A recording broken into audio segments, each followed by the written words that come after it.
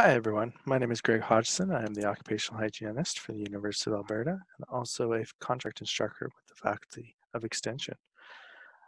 I put together a small little video about occupational hygiene and the different career options that are available. So please take a look and I hope you enjoy it. Today's presentation is on occupational hygiene, putting the health in health and safety. Now, when a lot of people think of health and safety, they think of industries such as construction and oil and gas. These industries rely on a lot of health and safety requirements to keep people safe, such as hard hats, fall protection, and safety vests. Now, safety, of course, is very important. All the controls in the workplace, such as engineering controls, administrative controls like training and procedures, and even personal protective equipment or PPE, can go a long way at preventing incidents and also reducing the chance of an injury.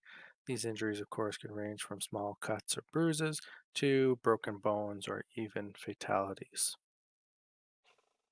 Now, while safety tends to focus on those immediate risks that can cause injury, occupational hygiene looks at factors in the workplace that can have short or long term health impacts, such as respiratory conditions, fatigue, dermatitis, and cancer.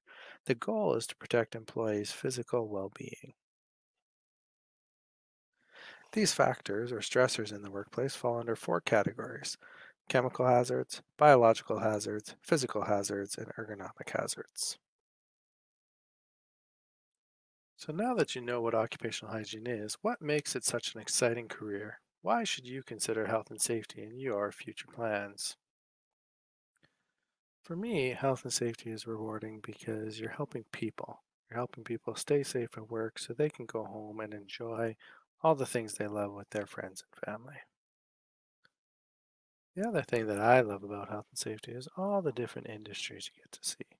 For me personally, I've got to work in construction, oil and gas,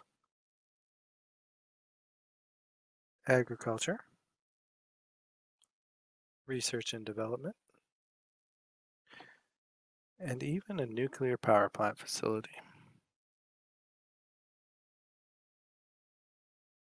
The other exciting thing about health and safety are all the career options available. Specific to occupational hygiene, you can work as a technician who takes air samples to assess potential worker exposure, or you can work in a lab analyzing those samples. You can be an instructor and help teach workers how to protect themselves against hazards in the workplace. You can work in an office and help an organization develop policy and procedures around health and safety.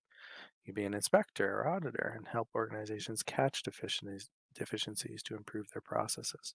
And of course, you can become a manager or director and work with a team of professionals to improve health and safety in the workplace.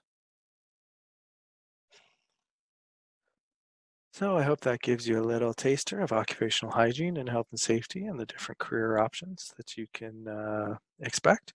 I've really enjoyed my career in health and safety. It's taken me all across the country, internationally. Got to work with a ton of different organizations, a ton of different um, uh, workers, uh, welders, carpenters, um, oil and gas employees, all kinds of different uh, setups, residential construction it's just been fantastic. And uh, at the end of the day, probably the biggest thing for me uh, is how rewarding it is. I get to go home and I know that I've tried to uh, help everybody stay safe at work so that they can enjoy um, the recreational activities with their friends and families at home. Uh, and really, that's what this career is all about. So, if you're thinking about it, hope to see you in uh, my course sometime. Have a good one.